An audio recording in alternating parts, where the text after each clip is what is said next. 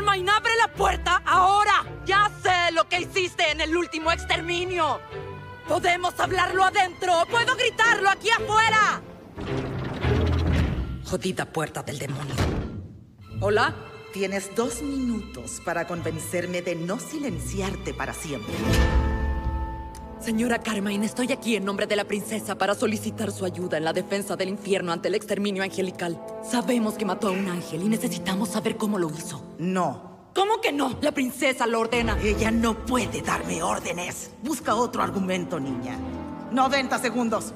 Con tus conocimientos, no tendríamos que quedarnos impotentes mientras... Claramente yo sé defenderme muy bien sola. 80 segundos. Entonces, ¿por qué? ¿Por qué no usarías lo que sabes para luchar? Para evitar el mismo problema al que tú y tus amiguitos se enfrentan justo ahora. No seré yo quien traiga la destrucción a mi propia casa, arriesgando a mi familia. ¿Crees que pedimos esto? Todo lo que Charlie ha hecho es tratar de mejorar la calidad de vida de su pueblo, que te informo, incluye también a los tuyos. ¿Y cómo le ha funcionado su maravilloso plan?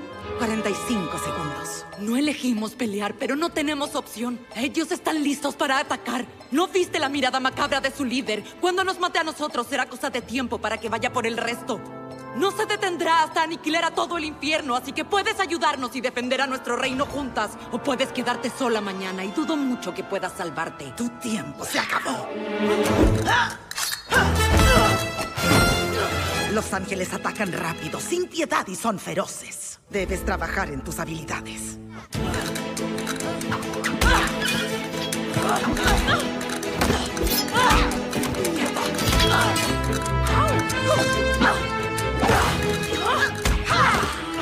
Basta! ¿Qué haces? ¿Quieres que te enseñe cómo vencer a los ángeles? Eso es lo que estoy haciendo. ¿Partiéndome el culo? ¿A golpes? Nunca luché con el pelo tan Estoy largo. mostrándote los defectos de tu estilo de lucha. El tuyo y el de todas tus hermanas. Espera, ¿sabes que soy un exorcista? ¿Cómo? Tienes una X gigante sobre tu ojo y empuñas una lanza celestial. No es ciencia espacial. Antes de que me descubrieras, ¿sabías que se podía lastimar a los ángeles? No.